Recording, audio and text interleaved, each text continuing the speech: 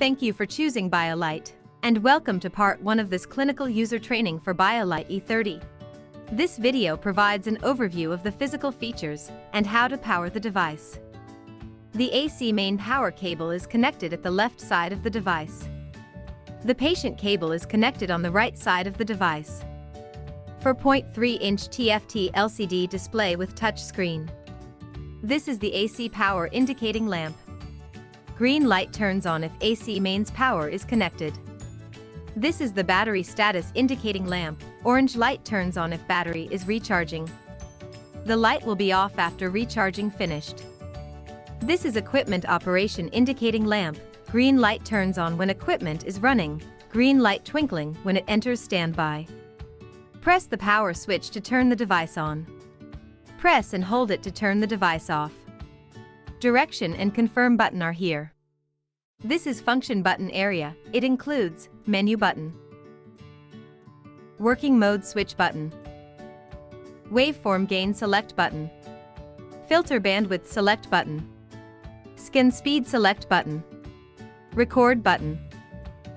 To load ECG paper, press down the paper pin open button to open the paper pin, Remove the packaging of new chart paper, and then place the chart paper into recorder box.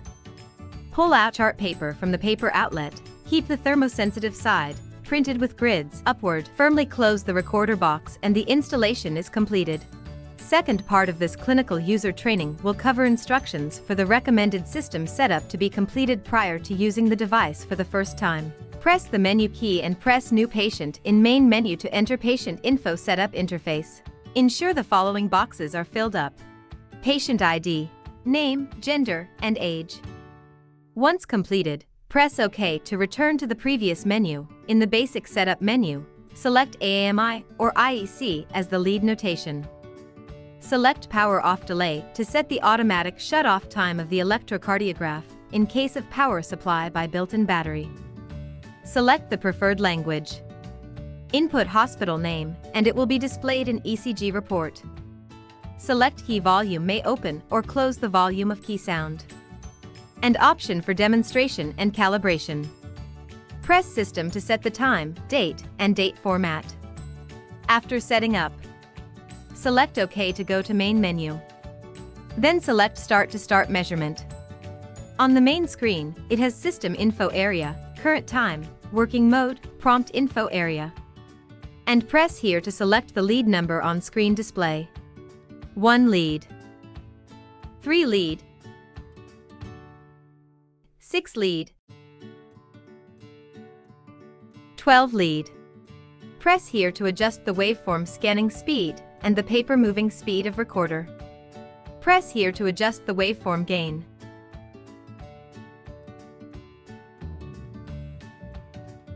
Press here to adjust the bandwidth of filter.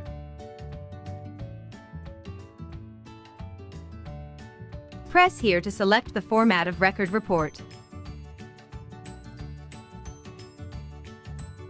After setting up, these settings will be the default each time the device is turned on. E30 has three different working mode, auto mode, manual mode, rhythm mode. During ECG recording in auto mode, the lead group will switch over automatically in order. For example, after the recording of ECG signals of leads in a group is completed within the specified period, the machine will switch over automatically to the next lead group and begin to record the ECG signals of the next lead group. In manual mode, users may select lead group according to actual needs and conduct different setups of recording parameters or other parameters for different lead groups. In rhythm mode, users may select lead according to actual needs and record the rhythm waveform of single lead within 60 seconds or rhythm waveforms of three leads within 20 seconds each. This ensures a long rhythm strip will be printed if critical events occur. Now we will explain how to acquire ECG reports and review patient data. Attach the patient cables as per standard 12-lead ECG placement to the patients.